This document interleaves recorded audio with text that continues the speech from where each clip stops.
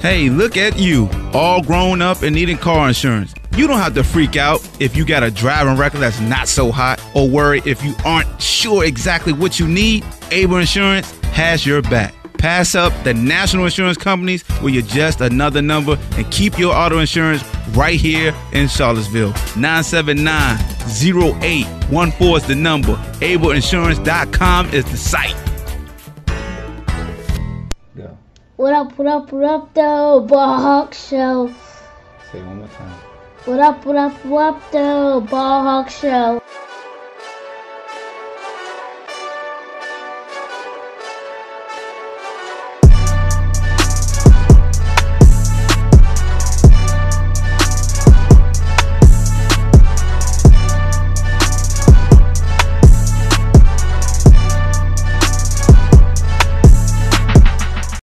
Talking to my family, coaching staff, and thinking about it a lot, I decided to forego my senior year of college and declare for the 20, 2019 NBA draft. From day one, I always dreamed about playing at this level since I picked up a basketball. I always dreamed about playing in ACC, playing against Duke and Carolina. This program was everything I could have possibly dreamed of. Playing for Coach Bennett every day, playing for the staff, playing with these teammates and for these fans has been a dream come true. I, I wouldn't change one thing. You know, UVA has been a home for me for the last three years. This has been the best basketball experience of my entire life. Since I was a little kid, uh, I always dreamed about playing in the NBA. I feel like the only reason I'm in this position today is because Coach Bennett and my teammates, and they prepared me. They prepared me to get to this point. Thank you to Coach Bennett. Thank you to all my amazing teammates. Thank you to my family. And thank you, fans. I will always be a Wahoo. Hey guys, um, it's DeAndre Hunter. I've decided to enter my name in the NBA draft uh, and fulfill a lifelong dream. My last three years at UVA have been magical. The community has really brought me in. Uh, you embraced me as a student and as a member of the community. Playing with this team has been amazing. And these coaches have put me in great positions to be successful. And uh, to my teammates, I want to say thank you as well. I couldn't be here without you guys. It was great playing with you, and off the court we had our fun moments. On the court we had our fun moments, and want to say thank you because I wouldn't be here without you. My family has raised me to be the man I am today. Uh, I couldn't thank them enough. Uh, they do everything for me, no matter how I'm playing on the court. They're always there for me. I mean, basketball is only a small part of my life, but just being the same guy I've been for my whole life and not changing, and no matter how good I become at basketball, I just want to remain the same and not change. I would like to thank God for blessing me with this um, wonderful experience and being able to give me this opportunity to play the game I love at the next level. What up, what up, what up, what up, what up, what up, what up, though? Welcome to the Ball Hawk Show podcast. I'm your host, Ahmad Hawkins, and I thank you for taking time out of your day to listen to the Ball Hawk Show podcast. If this is your first time ever listening to the Ball Hawk Show podcast, hit that subscribe button. It doesn't matter what platform you are reviewing this show, just go make sure you hit the subscribe button. Hit it now. Hit it. And leave a review if you're on Apple Podcasts iTunes. And if you're on YouTube, definitely salute your boy and let me know that you listen to it because I'll respond right to you. Um, if you are on social media, Twitter, Instagram, my handle is at I am Ballhawk. Make sure you follow. And if you want your Shut the Hell Up Juice clothing apparel, go to sthujuice.com. That's S-T-H-U juice.com and order your redemption shirt courtesy and a salute to not a courtesy but a salute to the Virginia basketball team in the national championship. They've been selling like crazy. I got a couple left, but it definitely some sizes are sold out. So you might want to check the site and see if there's any more available. So today's episode is a bittersweet episode because we got some who's leaving for the draft. When I first initially started recording this and had my script ready, it was all about Ty Jerome and his early entry into the NBA draft. And lo and behold, as soon as I was about to hit record, I get an alert that Dre Hunter, his best friend, DeAndre Hunter, also declared, which isn't a surprise because in a lot of publications, he he's between number five and number 10 as far as prospects. So he's a bona fide lottery pick. And I think everybody, anybody saw that he would be leaving, and it was a lot of speculation about Ty Jerome. I've said it since I want to say December. I felt like Ty was leaving because I saw various publications and various uh, scouting reports and things of that nature that had me thinking that yeah, Ty definitely will leave and test the waters. And then once you saw how successful the team was in the postseason and how well he played, especially in the Elite Eight and then the Final Four game and even the national championship game, I figured that Ty would leave. So, um, I guess to be fair, I definitely got to discuss DeAndre Hunter. So let's discuss DeAndre Hunter because I think it's less trepidation and less, like I said, less surprise as he's leaving. Okay, DeAndre Hunter is a kid that redshirted. Um, probably was not happy that he redshirted, and um, that red shirt definitely helped him out, helped him mature, and uh, helped him see the game and allow the game to essentially become slower to him because he redshirted that year. So even though that redshirt year was tough for DeAndre Hunter, it, it was definitely a blessing in disguise. Uh, you fast forward to 2017, 2018 season, we lose Marial Shayok. He transferred. A guy like DeAndre Hunter is up next. Nobody knows what to get out of DeAndre Hunter. He was basically the sixth, seventh man off the bench. Played 33 games, did not start a single game. Averaged 19 minutes a game. Ended up winning the sixth man of the year. If I'm not, yeah, won the sixth man of the year. Averaged nine points a game. Um, a very integral part of our tournament, ACC tournament run. And um, then he hurt his wrist, and it was a lot of rumblings that he could possibly leave last year because he had a first round grade. The scouts loved what they saw him, his size, his wingspan.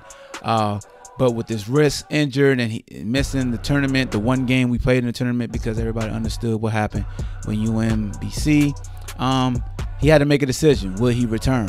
And he ended up returning, and boy, did he return. The kid put on a lot of muscle. He basically looked like white, a little Dwight Howard. He was number 12, like Dwight Howard did when he was in Orlando and the Lakers and all those other teams. DeAndre is 6'7, 225 pounds. Plays phenomenal defense. Was named the defensive player of the year in college basketball this year. Um, his average went from nine points to 15.2 points a game. Um, he averaged 10 field goal attempts a game. He shot 52% from the field. He also shot 43% from three. So if you look at his first year playing, he shot 48% from the field and averaged around six uh, shot attempts a game. Um, and then he shot 38% from three. So he went from 48% from the field to 52% from the field, then 38% from three to 43% from three. And this is with inc- increased shot attempts. Usually you see the field goal percentage drop a little bit with increased shots, but he actually improved on everything field goal percentage, three point percentage, also his free throw percentage. Of course, his rebounding went up, more minutes. Um, his blocks went up. Um, and we already talked about his points. And his assists went from 1.1 to 2.0. He was always known, seen as the leader, the best player on our team, one of the best players in the country. And he showed on the biggest stage where he dropped Culver off, and he probably dropped Culver in the lottery and elevated himself over Culver because it's hard to say you know, we'll take Culver over DeAndre Hunter when head to head. He took him to school. He walked the dog with that young man. Salute to that young man for Texas Tech because he's still a lottery pick in his own right. Um, but we all saw and knew this coming. This was coming from DeAndre Hunter. Even though you still got folks saying he should stay another year, which I don't understand. Look, fans. Well, no, no, no, I ain't, I ain't even going to address that yet. So let's go to Ty Jerome, right? Because like I said initially, this podcast is for Ty because he was the first, you know, he, he jumped out there first. I didn't know if DeAndre was going to announce today, tomorrow, whatever, and I didn't want to drop a podcast until he announced, not saying that I knew, but I knew. Um, then you go to Ty Jerome, a guy that's been playing viable minutes since he walked on campus. He started five games his first his first year, played 34 games. Um, he averaged four points, just one assist in 13 minutes a game. We saw what he can do when he stepped out versus Villanova and he started playing big on that stage just as a rookie. Um, and then last year, he grew into that leader, that big shot. You better call Ty Jerome was created last year because he started hitting Jays from Thailand. Shout out to my man Anthony Shiflett. Um, just big shot after big shot. We knew he had ice water in his veins. Um, last year he had a, a very good year. Um, but we knew he wasn't leaving. You feel what I'm saying? because at, at, at the post game conference after losing in the first round, Ty had a chip on his shoulder. Like he made it among he he, he made it a point that we're gonna return bigger, better, and we're gonna do what we set out to do this year, but we didn't get get it done, and that was win a national championship. Then you go into this year, this season. Um, a lot of people was talking about DeAndre Hunter. Everybody had high expectations for Kyle Guy, and Ty was the guy out of the big three that was the least talked about. But to me, he was always the most important because he did so much for our team, right? His numbers aren't going to jump out at at people who don't watch Virginia basketball. You know, 13 points, five rebounds. I mean, five assists, four rebounds, is 5.5 assists, led the ACC. But you got to think about the slow pace in which UVA plays at, and he still averaged 13, 5, and 4. We play at a very slow pace, very methodical. And Ty's a guy who can play at a fast pace, slow pace. His game, he, he's like a chameleon. He can play off the ball. He can run the show. I mean, I would rather him run the show. Six foot five, long wingspan. Um, reminds me of Greivis Vasquez. I used to play at Maryland. Six six point guard that could do it all. Lick his chops at any of the top. Like anytime it was supposed to be a guard that was nice, Tower raised his game up to another level. Like he never ever backed down. Even when we played Purdue and Edwards was going crazy in that first half, if you go back and look at the film of that game, Ty Jerome would answer his big buckets. Even though Edwards was hitting from everywhere, Ty Jerome was the one that was hitting big buckets. It'll be a big three from Edwards, and lo and behold, it'll be a quiet three from Ty.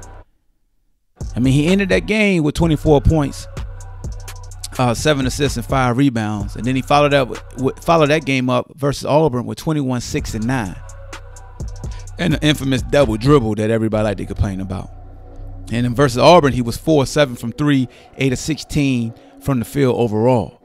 And then the national championship game, he was 4 10 from three, had 16 points, uh, eight assists, six rebounds. I mean, his numbers in the Final Four run were comparative to the great Magic Johnson. We hadn't seen numbers like that since 1979. You win a national championship. You are the catalyst. You are the guy that threw the pass to DeAndre Hunter, who's also leaving for the draft, to hit the three, the centers in the overtime.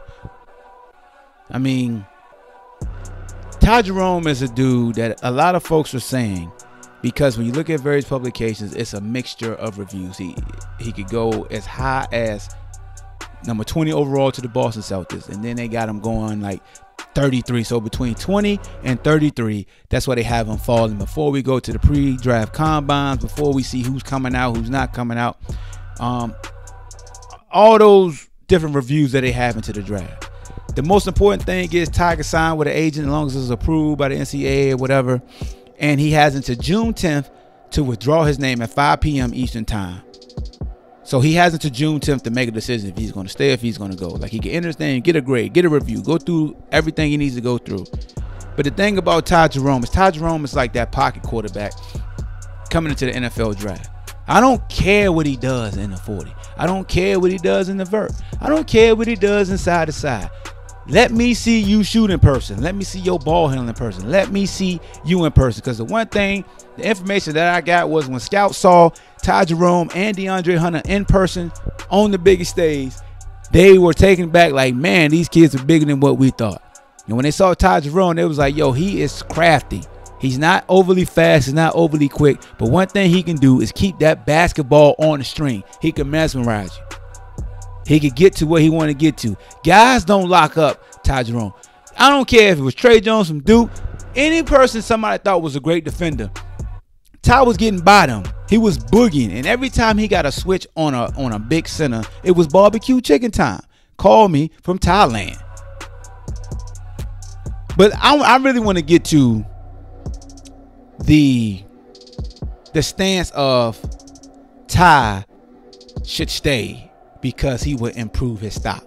So there's a lot of folks that saying Ty should stay because he's not ready. And you got people that thinking DeAndre Hunter's not ready. And you got people saying what you know, the fan part, the fandom part, and I understand that, and I'm not going at that. The fandom part, we all like not me, I'm not gonna include me because I don't want them to stay. I want them to go achieve their dreams and, and live their dream.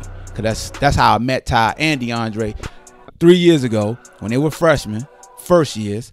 Um, I spoke at their class. Professor Paul Harris is a good friend of mine, and I talked about my, uh, your mindset, how to achieve your dreams, setting your goals to achieve your dreams, and how it is in your DNA through your dreams of what you really want to do in your life. And if that's all you think about, and that's all you envision yourself being, mapping out a game plan on how to get there, right? And know their dream is to play in the NBA. It seems like sports is the is the one lane, the one lane where we'll tell somebody, put your dream on hold just in case, right? Put your dream on hold. You need to develop. The money is always going. When people say the money is always going to be there, no, it's not. Because nothing is guaranteed. Nothing in life is guaranteed. We're not promised tomorrow. So we need we're we're doing young people a disservice by telling them the money will always be there. Yes, money will always be everywhere. Because everywhere is called getting a job.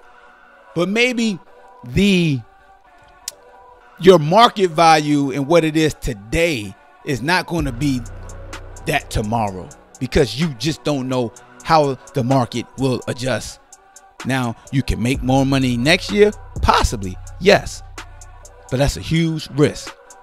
All right. So when folks say, "Yo, Ty need to stay and get his education, get your degree. You need to get your education from UVA," and I tell folks this all the time. This education at UVA won't leave. It's not going anywhere. Anywhere. No matter what he does. He could play 10 years in the NBA. He could go overseas and and and, and play for four, five different like your degree will be here. Like if he don't finish, and I heard I, am hearing he may finish by June. Just say if he does, if he still has to take a year worth of classes, is that really a big deal? Think about that, folks. Now, don't get me wrong. He won't get a free grant aid, and I'm saying in quotations, like the school won't, you know, pay for his education anymore. He had to pay out his own pocket. But the opportunity to earn your degree from UVA will be here. It's not going anywhere. So when folks say stay and get your education, I'm like, why? Why? Everybody comes to college to try to find out what they want to do in life, right? And once you find out what you want to do in life, you tell people to attack it, to go get it. We've seen million, many, many, many folks, and not just billionaires, but many people drop out of college and find their trade. But like sports is a trade in a sense, right? Yes, you need education to go to college, but sports is essentially a trade. I majored in religious studies here at UVA, but football was my trade, and football was what I wanted to do. And I was going to do any and everything to achieve my dream of, playing professional football. Whether it was in the NFL, the CFL, NFL Europe, Arena Football League, my dream was to play professional football and get paid to play a sport. That was essentially my trade. Going to class every day at UVA and, and, and earning my credits to remain eligible allowed me to perfect what I truly wanted to do, which ex- explore the field in my trade, which was playing football. That's what Ty Jerome is doing. The reason why I understand why Ty is leaving because when I reflect on when he was a senior in high school, he had hip surgery that ended his season at Iona Prep. Months of rehabilitation, fell under the radar. Before then, he was a top 50 player in the country. So when he got to UVA, he was a, he was like an afterthought. You know, he had to build his body back up. He had to teach himself how to operate at a fast pace. Essentially, just learn how to walk, learn how to run, learn how to be coordinated at a high level. And then you get to UVA and you get to the pinnacle, right? We always kind of reflect on our past. So you're asking the kid who essentially committed to Virginia his junior year, goes into the senior year in New Rochelle, New York starts out with a bang, scoring over 30 points in the game, and all of a sudden he's having problem with his hips, and they telling him you're gonna need hip surgery. So you fast forward to UVA, you in your junior year, like high school, third year, but your junior year, going into your senior year, you had a back injury this year. You like, hey man, I gotta go ahead and jump on it while it's hot. I can't take that risk of coming back. Yes, I know it's not guaranteed that I will be a first rounder. I know that. But this is my dream. Like he said in his Instagram post, this is a dream that he's had since he was a young boy. Shouldn't we be taking it back and kind of sip shut the hell up juice on trying to tell that man, don't go achieve your dream right now. You're going too soon. When you have, you know he's at least going to get drafted. Now, yeah, we all want guarantees in life, right? If he falls in the first round, that's a guaranteed contract. The elephant in the room is don't be Justin Anderson, right? Everybody's saying, don't be Justin Anderson.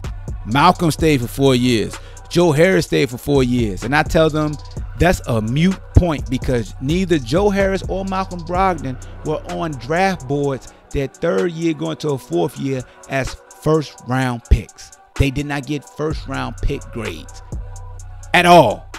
At all. They end up both getting drafted in the second round. They both in the NBA right now. But people forget that Joe Harris, it took him many years to get to this Brooklyn point to where he's starting and becoming a household name, three-point shooting champion, lead the NBA in field goal and three-point percentage. People forget that yes, he went to the G League and played over 20 years. And he stayed for four years. So why are some folks coming at Ty Jerome saying you can leave early, then get stuck in the G League? Well, we had guys stay all four years and still go to the G League. What is the issue if somebody has to go to the G League to fully develop into a better NBA player? What is the issue with that? You're getting compensated. You're still a professional football, I mean, professional basketball player. We're essentially teaching them this model of you have to stay. You have to stay and better prepare for the NBA playing college basketball. Think about that. Oh, oh, you should you could have stayed and upped your stock. Yeah, you could stay and hurt your stock too. So just say if, if, if Ty does come back and his stock drop and he gets no more first round grades. Y'all will be like, well, why you listen to me? I was just giving my everybody gonna say, well, I was just giving my opinion. Now is an opinion. When sometimes people stand so firm on their opinion, they make it seem like it's fact. And they start digging up all these examples of what this look at this player, look at that player. Anytime a person comes back, even Greivis Vasquez, when he, he his junior year at Maryland and senior year, he averaged damn near 20 points. He was considered the best point guard in America, without a shadow of a doubt. Like you got to be so phenomenal in the scoring department. That's the only way you could truly elevate. When you look at guys that came back for their fourth year and still went high, like a Buddy Head, Buddy Head, high, uh, Buddy Hield for Oklahoma, do average down there 25, 40 damn points a night. Or Damian Lillard, many years he stayed. Like you get my you get my drill. You get my drill. But with Ty, I don't know his family situation. Many times we, we text, we talk. Phenomenal kid. I really talked to him about basketball. I talked to him about regular life stuff. But I'm not gonna say, hey, what's your family like? Why are you leaving? I don't know his family situation. We we we never know. So when folks be like, oh, that money gonna be there next year, maybe the family needs it now right? You always got folks say, why would he leave? We don't know their living situation. Sometimes, family, sometimes your needs can't wait an additional year. I'm sorry. Sometimes your needs can't run that risk of you returning. I do know one thing. School will be here. You could come in the off season. You could come you ret- you could come nine years. No, not nine I came back seven years later. Yeah, eight. Take it from a guy who, when I was getting, and I wasn't even, I didn't leave early, but I didn't do anything in my spring season. I got ready. I tell the story all the time. I got ready for the NFL draft. I didn't get drafted. Went into practice squad for the Chiefs and went overseas and came played arena football. Played into the season, uh, the league seats operation for the 2009 season, and I returned to UVA and finished my foreign language requirement and got my degree talking to somebody who has who's who returned to UVA to finish their degree. So when I tell you it's athletes that come back all the time, it don't get no fan. It's not gonna get any fanfare. Everybody can't be Greg Oden and be on the front street and they showing you he completed his degree after he had a failed career due to injury. When people call him a bust, but he made millions of dollars, he can invest into his life, and then he can go back to school because he can afford to pay for his class.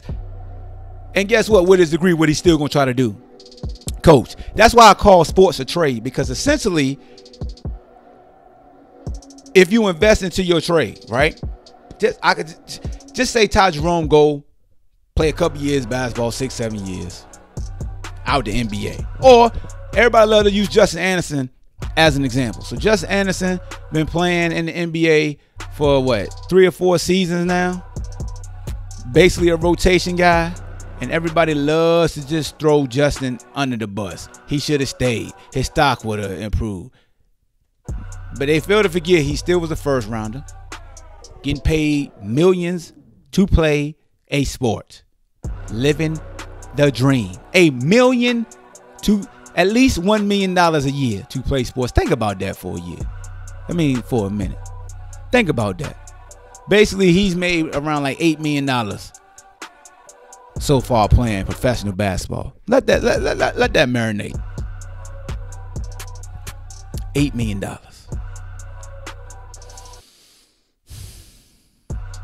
and we really saying to him, well, he could end up like Justin. Like it's a bad. Is that really bad? He in his fourth year in the NBA. Is that really bad to end up like? Oh, you can end up like Justin Anderson and be at the end of the bench.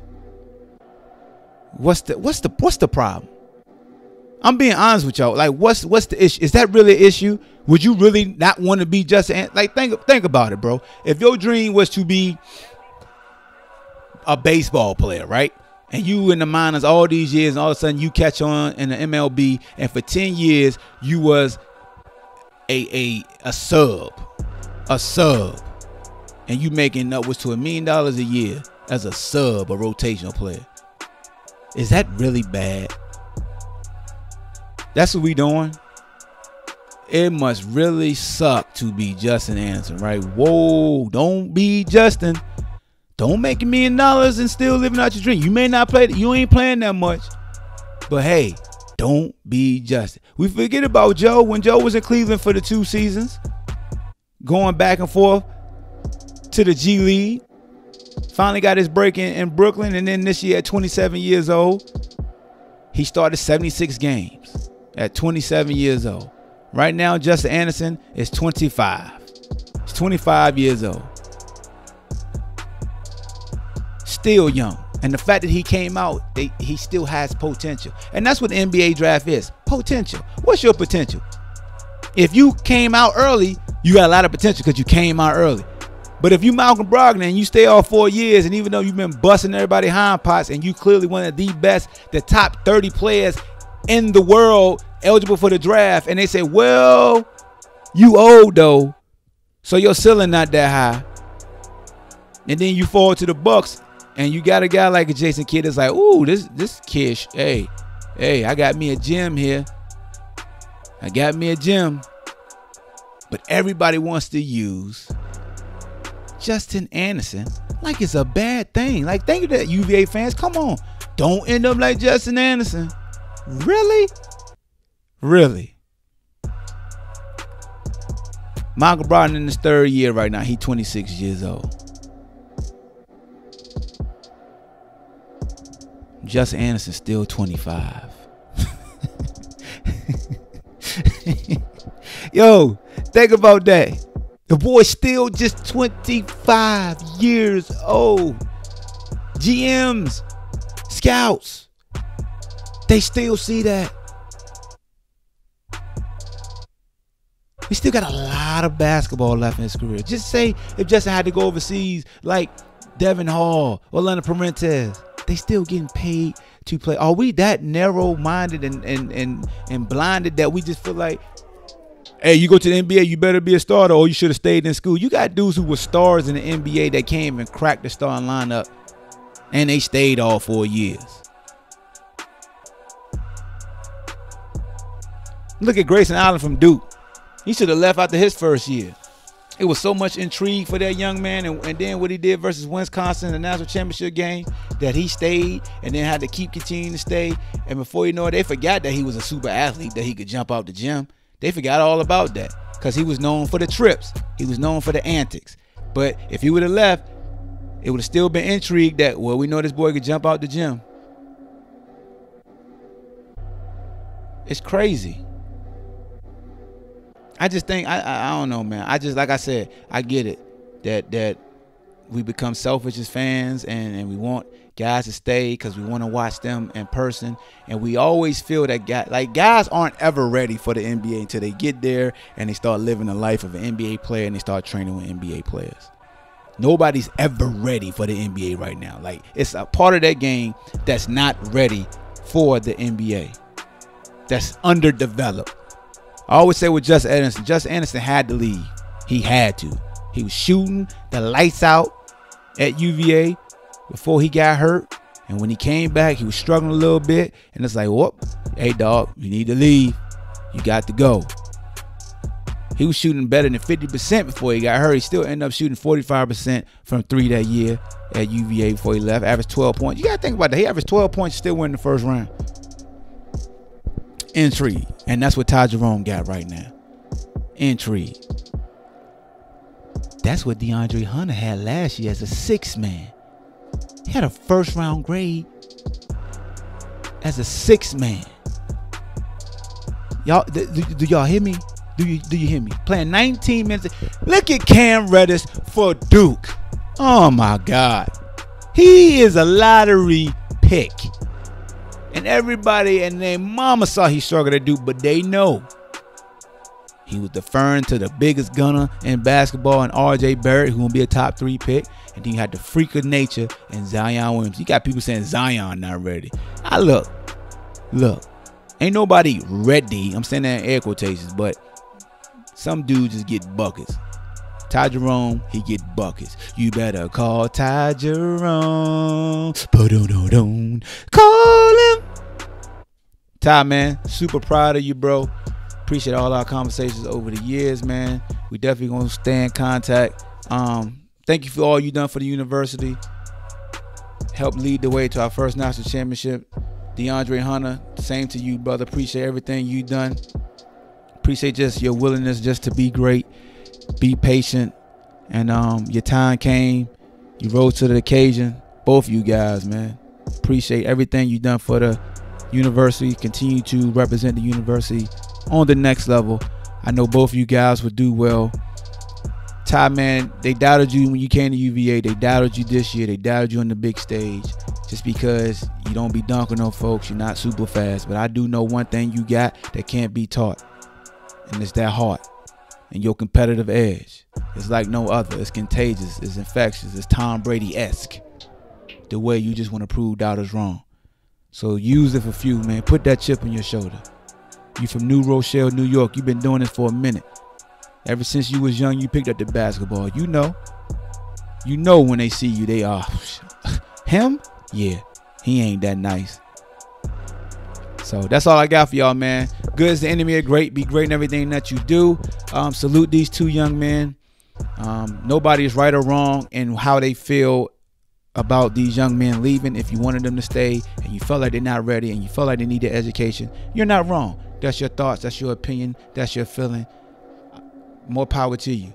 And if you're on the other side and you think the iron is hot, they did all they could do at UVA. Leave now. You write in your opinion, you write in your thoughts and your stance. At the end of the day, I don't want anybody ever thinking that me behind this mic is trying to tell them that they're wrong for the way that they feel. All I'm doing is providing my opinion, putting some substance behind my opinion, and hopefully it was entertaining for this 30 minutes for you to get through what you had to get through in your day. You might be working third shift. You might be listening to this on the drive to work, home, from work. But it's the ball hawk. Oh, ah! I'm out of here. I want the whole world spin my record. Cheryl, the hoodie styles, check game, stay free records. Oh, shorty girl fed to death in a massaging. Bad news, even be massaging. I got a fitted head, I be massaging. Pinky rings on my finger, I'm massaging. I got a speedboat concert cause I massage. I coming through about a whole Econo Lodge. I be massaging I be massaged. I'm coming through with Cadillacs and massaging. Yeah, boats I'm constantly massaging. I got GPS's, I be massaging. I catch croaker fish cause I'm massaging. I like a macaroni plate, I be massaging. Even oodles and noodles, I be massaging. Straight out the ghetto, cause I'm massaging. I got ice around my neck cause I'm massaging. Or even gold teeth, I'm massaging. A pinky ring iced out cause I'm massaging. I got a hundred million dollars, I be massaging. I got ten dollars, I be massaging. I got a thousand dollars, I be massaging. I got 22 cent and be massaging. I take a penny and be massaging. I tell shorty girl fat, I be massaging. Your big two, I be massaging. I be massaging, I be massaging. I got a GPS stern with massaging. Whole share road chain be massaging.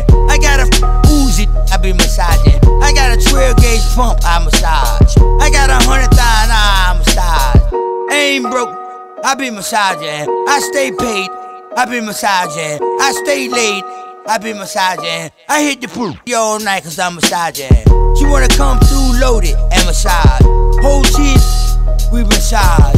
Bad new posse constantly massage. Ain't no joke, I be massaging. Even the bacon and eggs, I be massaging. Huh? Polo shirts, Chateau Adidas, I be massaging. I love you, sweetie cake. Spin my record, let me give you the game. On how to get rich. Take a penny and flip a penny. Then 40 billion. Uh huh. Why? I be massaging. What? Car steering wheel. I be massaging. The whole, the whole label of the State Free Records in the VA. Oh, we be massaging. Let's have a money shot.